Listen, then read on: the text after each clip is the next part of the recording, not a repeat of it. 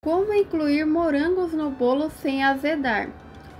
O morango tem o poder de transformar simples receitas em algo simplesmente fantástico, como bombom de morango com leite em pó, bombom aberto de morango, pavê de brigadeiro com morango, bolo de morango e a irresistível torta de morango.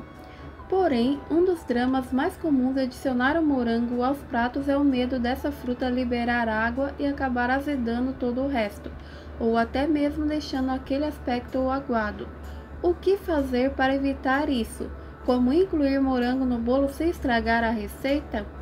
A solução é mais fácil do que você imagina.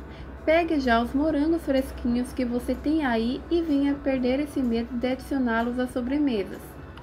Uma solução doce para os morangos no bolo. O morango é um dos alimentos ricos em água, de forma que, para evitar que ele libere o líquido nas receitas, o mais correto é retirar a umidade da fruta ao máximo que for possível. E como fazer isso?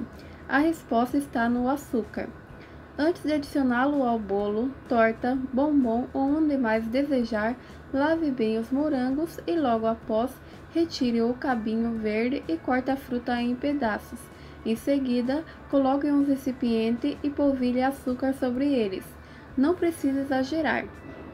Gostou das informações? Se você gostou, curta o vídeo, se inscreva no canal e compartilhe com seus amigos.